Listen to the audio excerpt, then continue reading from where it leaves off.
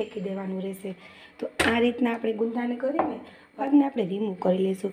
આ રીતના તમે જોઈ શકો છો. ઇઝીલી સરસ રીતે રિમૂવ થઈ જશે. અહીંયા નિમકને એડ કરી દીધું હતું.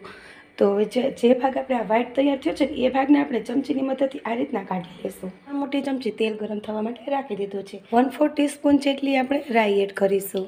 વન ફોર ટીસ્પૂન જેટલી આપણે સુકેલી મેથી એડ કરીશું.